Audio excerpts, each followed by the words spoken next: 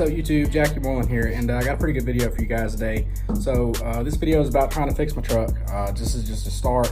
Um, this was recommended to me by Sean Hill. I really appreciate your help and just advice. Um, I'm gonna go ahead and try that today. I know, think you would like to see it, see if it would work. out. anyway, so Sean suggested, or he not only gave me a bunch of advice and stuff and different things to say, but he said try to check the transmission fluid, and which I've never done in the truck. I bought it over 200,000 miles, and you know the transmission was shifting kind of funny, and it was just one of those things where I just wasn't really thinking about it. And uh, honestly, I just knew that you know if if something was going to happen, it was most likely going to be the transmission. But anyway, Sean Hill said check the transmission fluid while it is hot, it's at temperature, and it's running. So I we'll do that today. I'm gonna go pick up some uh, transmission fluid, possibly stop leak or or not stop leak, but uh, something like transmission fix or something, something you can just pour in and maybe it'll fix it. And uh, we'll see what that does today. So I'll take you guys there today. Going to Napa to pick up the stuff and uh, yeah, let's go ahead and get her done, guys. Okay, so we're in the new car now. We just got done in, in uh, Napa and I picked up, I went with Lucas Oil Products because I've had really good luck with them in the past. So uh, pretty much from my understanding here is this is kind of like the fluid and this is kind of like the fix. Um, you know, so uh, put a little bit of this in it, a little bit of this in it if it needs it. All of that costs at a total of 28.38, which is kind of, a, you know, it's kind of expensive for two little bottles of stuff, but it's worth it to me to try. Um, 30 bucks isn't that big. There she sits. All right, I'm gonna go ahead and get the keys and then uh, try to see what this does. You can see the size difference in these things. It's really crazy when you've been driving that for a while and then you go to that. Okay. So uh, go ahead and give her a start. See if it actually, uh, I don't think it'll whine this time when I start it, so.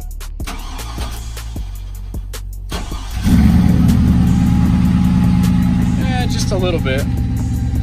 So now we wait, gotta wait till it's at operating temperature.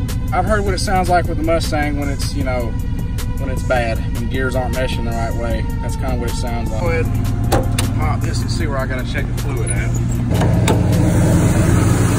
Alrighty. Right, right here. So yeah, I'm gonna go ahead and pull that out now. There's definitely fluid on it. Don't see any metal shavings in it. Put it back in. Starting to make it again. Okay, so that, that check was when it was not warmed up. I just started it, so. So another weird thing is that fluid actually is still red. Um, I know with the Mustang, it was definitely a you know older transmission fluid. Had about 100,000 miles on it, and it was black, um, closer to black. I mean, you could still see a red tint in it, but it was a very dark red, uh, kind of like wine, like a really maroon burgundy wine color. Uh, so yeah, that's kind of weird that it looks new. Um, I, like I say, I haven't checked the fluid in at least 30,000 miles that I've had it. Um, and it's got 270,000 miles on it. So, I don't know. Let's just see.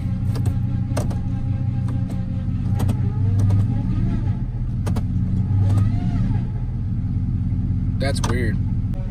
Still aren't nowhere near operating temperature. One thing too, when you rev it, it gets faster like it is in reverse.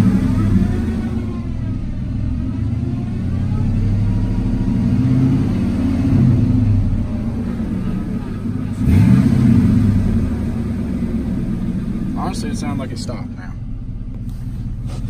So what it, I don't know, maybe this would fix it because honestly to me, it sounds like, you know, when you would rev it, it spins the pump that's in it and then it lubricates it.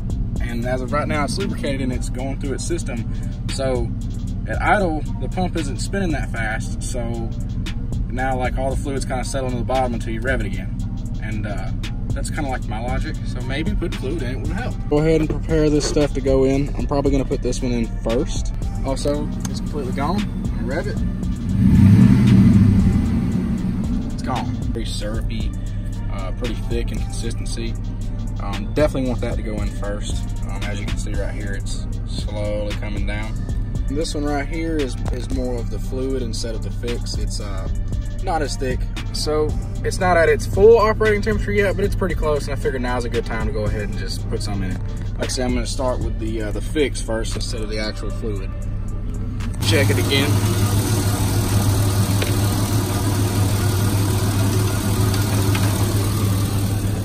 right, so here. So upon further inspection, it does look like it is low. It is right below the second mark, or like the low mark. So it's not in between, so that, that is low.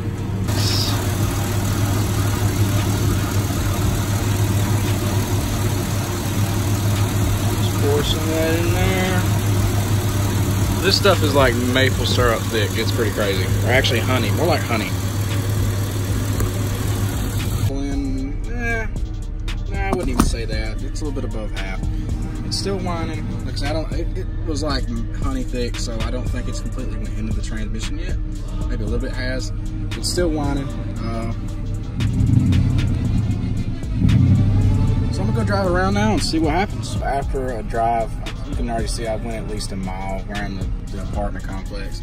I just put a whole bottle of this stuff in. Um, I probably need to put a little bit more of that in, but honestly, guys, it um, it, it, doesn't seem like it's doing anything, um, really at all.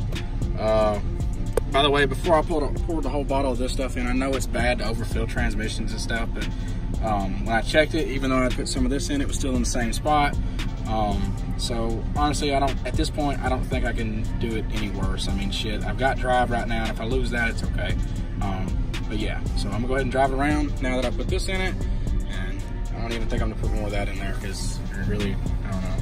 So we're gonna try to drive this around, see what happens. So this is the final of the video. Um, god damn, just fucking motherfuckers stupid around here. So anyway, uh, it started to rain. As you guys can see, it's not raining bad, but it's sprinkling. Uh, I put at least half of that in, and then the whole thing of that, and it didn't do anything. I still do not have reverse. Uh, reverse is still gone, and it's still whining. So